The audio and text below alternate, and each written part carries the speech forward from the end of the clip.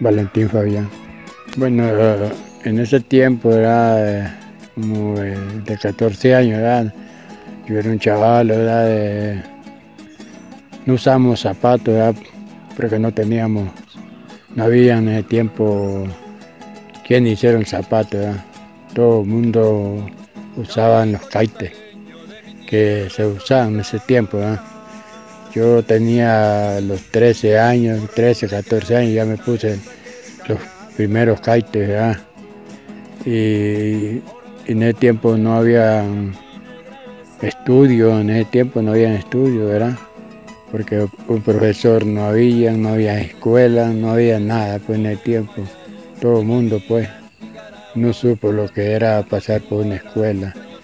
En un tiempo era un profesor Virgilio, ya, lo daba clase a todos, a muchas comunidades.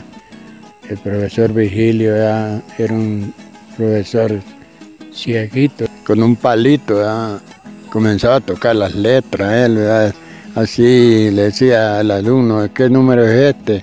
Y decía el alumno, este es uno, y este es dos y así él, hasta quinto grado, llevaba a todos los alumnos.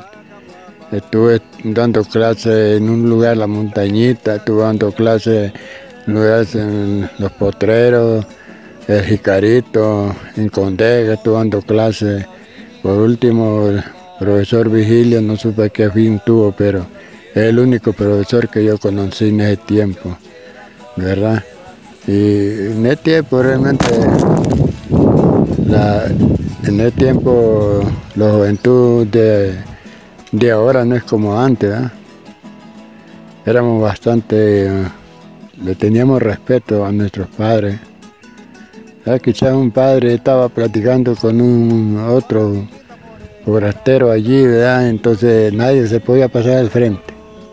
En que no había una escuela, en que no había clase, pero sí que teníamos educación. Nadie podía pasar allí frente a la persona que estaba platicando, sino venía el azote y ya los pegaba nuestros padres a nosotros. Así que con ese respeto los, criamos nosotros. En ese caso, el tipo de zapatos que usaban, ¿de qué o dónde lo mandaban a hacer? O platican sobre eso, esta historia. Bueno, ya con el tiempo, ya como el 2070 por ahí ya comenzó un taller de hacer unos zapatos de cuero que le decían, cuero crudo, no era un cuero curtido, es que unos zapatos y unos tacones que le decían. Unos zapatos que uno se ponía eran durísimos, porque no eran, no eran cosidos, sino que eran crudos, solamente lo pasaban los juraban nada más y así lo hacían y le decían los zapatos burros. Los zapatos de antes, más zapatos no habían. En el caso de la ropa, ¿cómo hacían? ¿Qué tipo de traje usaban? Bueno, el asunto de la ropa, pues en, ese tiempo era, habían sastres, ¿verdad? No habían talleres de, de costureras ni nada un sastre tal vez eh, tenía su maquinita, compraban los cortes, los cortes, y lo mandaban a hacer los pantalones. Y ya el, sastre le, le hacían, le agarraban la medida a uno, ya le hacían sus pantaloncitos a uno, sencillito, pero uno andaba alegre porque andaba con pantalones. Y bueno, sí, en ese tiempo era yo poco, poco recuerdo, pero sí, lo que recuerdo es que en ese tiempo abundaba lo que es el queso, el queso, la leche, la mantequilla, el frijol y el maíz. Esa, eran, era la comida que teníamos nosotros antes. El arroz no se conocía, eh, el aceite no se conocía. Y, muchas cosas pues no se conocían, es como ahora, ah, y el jabón, no había jabón también este, mataban un chancho. Entonces comenzaban a hacer jabón de, jabón de, chancho. Eh, se hacían las pelotas y con eso las mujeres lavaban su ropa con un jabón de chancho que le decían. O si no, había un palo pascón que le decían también. Entonces iban a la quebrada, recogían los pacones y comenzaban a, a lavar ropa con esos pacones.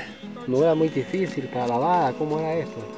Claro que era difícil, ¿verdad? Porque pasaba un proceso grande, ¿verdad? En hacer, matar un cerdo, ¿verdad?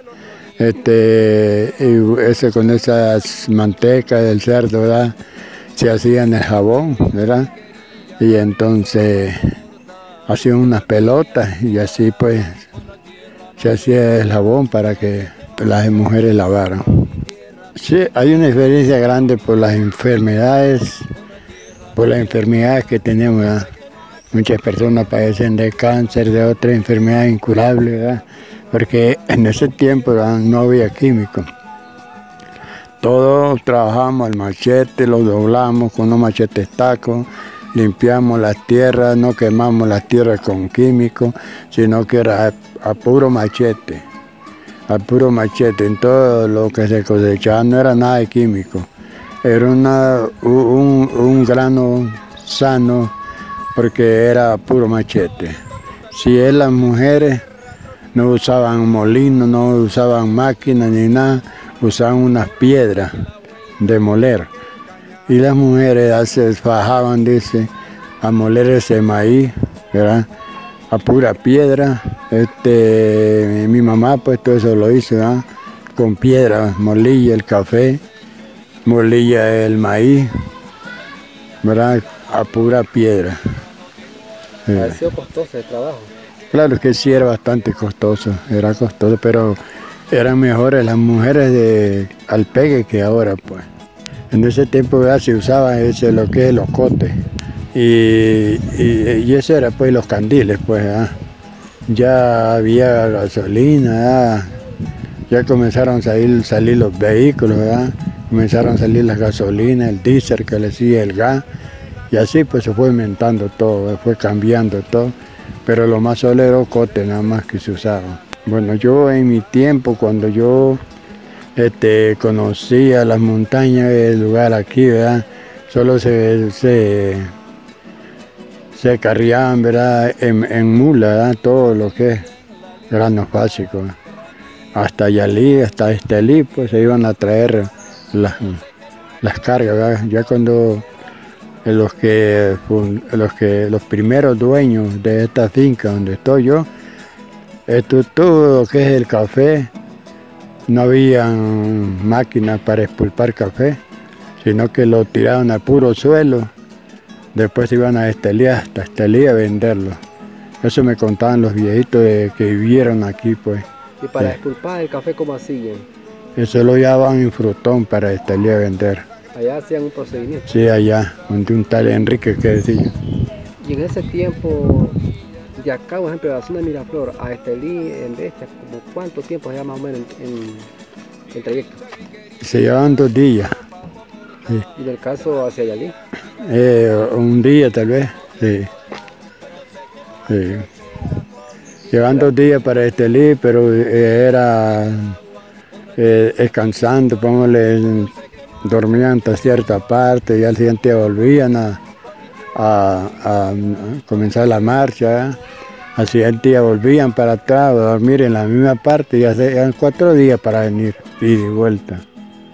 y para tener la provisión, un ejemplo, porque imagínate ya algo de provisión de allá, o Sí, sí, sí. Porque no habían vehículos. Entonces aprovechaban traer lo que era todo, lo que es comida, pues, de allá para acá. sí. En este caso me imagino que lo que traían, para cuánto traía más o menos el tiempo que les podría durar lo que es la cosa de Sí, provisión. sí, ellos traían este, tanteando que le durara un mes la comida. Y aquí los inviernos, ¿cómo era? Platiquen. Aquí eran terribles los inviernos, terribles, terribles, aquí eran. Sí. Aquí me imagino que habían eh, un sinnúmero de especies de animales, porque cuando son lugares montañosos existen varios tipos de animales. Me platicaban a mí los viejitos que vivían aquí en este lugar de que aquí eran manades ahí los que habían. Manades de pisotes que habían. Venado dice que eso era abundante lo que habían en este lugar. No digamos la guatusa, que el pitero, eh, la guardiola, esos eran animaleros que habían aquí. el pisote, un pisote solo, que era mapachino, todos sus animales. Sí, leones, sí, Lo- no, no había puesto Sí, yo cuando vine aquí todavía conocí un león aquí. Pero el único que conocí un león aquí. Después ya no volví a ver ni leones, ni loncillos, ni nada. Este, mire, el tiempo de, de la guerra, esos animales todos así, esos eran animaleros que iban aquí. Y alrededor comenzaron las cacerías, cuando había un programa de, de, de que le dan permiso los, los que mataban venados salían de, de Estelí, aquí este lugar. Y entonces, y así pues fueron terminando todos los animalitos y algunos pues que, que fueron quedando, que se fueron huyendo, huyendo, porque no había donde esconderse ya.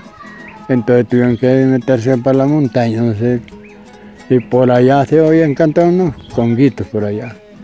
Y aquí donde yo apenas andan cuatro congos. Eh, claro que sí, yo lo único que, que les puedo decir es que, que yo viví en el tiempo, ¿verdad? Donde todo abundaba en asunto de, las aguas, ¿verdad? Los inviernos eran buenos, ¿verdad? Este, las cosechas eran gra- grandísimas, ¿verdad? Por, porque no eran destruidos todos los, los bosques, ¿verdad? Y ahora pues yo les digo a todas las instituciones que realmente este, que hagan algo ¿verdad? por la humanidad, ¿verdad? porque así como vamos nosotros, ¿verdad? esto podemos estar en un desierto con el tiempo. Esto significa que es preocupante para la humanidad, tanto en la flora y fauna. Sí, sí, para mí es preocupante, sí.